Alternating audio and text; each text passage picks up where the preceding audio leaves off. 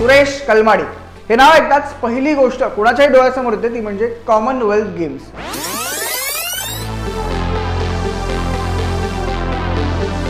पण ते चांगल्या कारणासाठी नाही तर दोन हजार दहा साली झालेल्या घोटाळ्याच्या आरोपांमुळे. दोन हजार अकरा ते दोन हजार बारा दरम्यान सलग दहा महिने सुरेश कलमाडी हे तुरुंगात होते ते याच कारणासाठी याच घोटाळ्याच्या प्रकरणामध्ये. दोन हजार चौदा साली काँग्रेसनं त्यांचं लोकसभेचं तिकीट कापलं ते कायमचंच. आणि त्यानंतर मात्र सुरेश कलमाडी राजकारणातून गायब झाले. आत्ता त्यांचा एक फोटो आमच्या हाती लागलेला आणि हा फोटो नक्कीच सर्वांचं लक्ष वेधून घेणार आहे. हा फोटो सर्वांमध्ये चिंता निर्माण करणार आहे.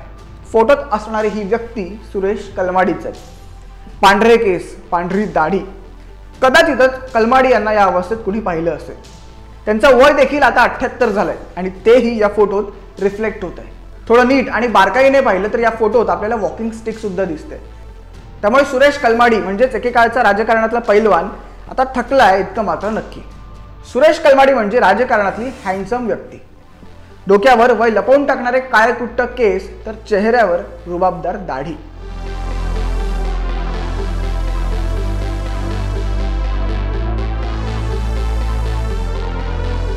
सुरेश कलमाडी वयाच्या अडतीसाव्या वर्षी पहिल्यांदा खासदार म्हणून संसदेत निवडून गेले आणि त्यानंतर पुढची तीस वर्ष त्यांनी मागे वळून पाहिलंच नाही.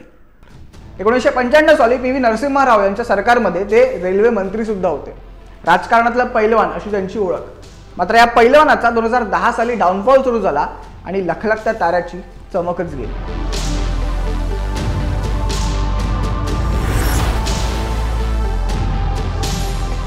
दोन हजार चौदा साली ते राजकारणातून बाजूला झाले किंवा त्यांना बाजूला केलं गेलं आणि त्यानंतर ते कुठेही दिसले नाही. मात्र हा फोटो हा समोर आलेला हा फोटो नक्कीच या देशाचं लक्ष वेधून घेणार आहे.